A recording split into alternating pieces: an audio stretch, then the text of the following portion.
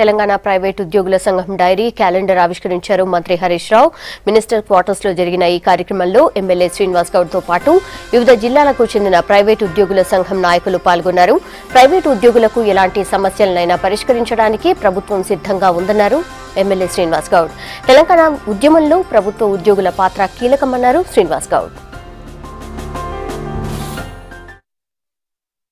ఈరోజు అనుకున్నది అనుకున్నట్లుగానే అగ్రగామిగా తెలంగాణ అనేక పరిశ్రమలు తెలంగాణకు రావడం ఇరిగేషన్ ప్రాజెక్టులు పేద ప్రజల సంక్షేమం గురించి ప్రైవేట్ ఉద్యోగుల గురించి ఇంకా స్కిల్ డెవలప్మెంట్ కేంద్రాలు ప్రతి జిల్లా కేంద్రంలో ఏర్పాటు చేసి నైపుణ్యాన్ని పెంచి ప్రైవేటు ఉద్యోగాలు మా వాళ్ళకి దక్కేటట్టు చేస్తా చెప్పి ముఖ్యమంత్రి గారు కూడా ప్రకటించడం. ప్రైవేటు ఉద్యోగులందరూ కూడా భయపడాల్సిన అవసరం లేదు.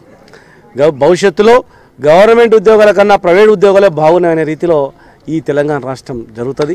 ఇప్పుడు కూడా బంగాళాఖ నిర్మాణంలో తెలంగాణ ప్రైవేటు ఉద్యోగులను కార్మికులందరినీ కూడా ఏకం చేసే విధంగా మేము ముందంజలో వెళ్తూ తెలంగాణ నిరుద్యోగుల కోసం జాబ్ మేళాలు అదేవిధంగా స్కిల్ డెవలప్మెంట్ ప్రోగ్రామ్స్ కూడా వివిధ జిల్లాల్లో కనెక్ట్ చేస్తున్నాం.